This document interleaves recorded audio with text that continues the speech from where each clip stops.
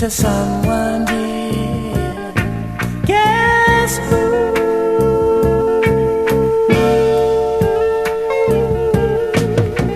Mystery girl enchants me so.